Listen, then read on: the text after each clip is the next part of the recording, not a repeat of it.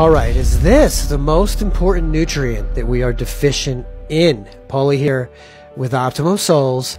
Lack of this nutrient causes over 80,000 deaths per year, and people high in this nutrient live the longest. What am I talking about? Okay, I'm talking about omega 3 fatty acids. All right, there are three types there's ALA, EPA, and DHA. All right, EPA and DHA come from fish. All right, I recommend salmon, mackerel, and sardines. They are some of the least contaminated.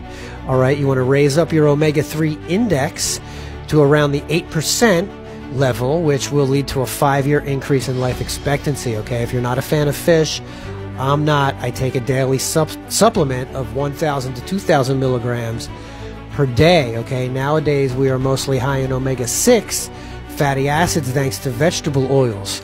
And the way to fix this is by eating more fatty fish and taking an omega 3 supplement to help even out the levels, okay? I take 1,000 milligrams of cod liver oil per day, and I will leave a link, all right? Follow me to lose weight, get off meds, and heal depression.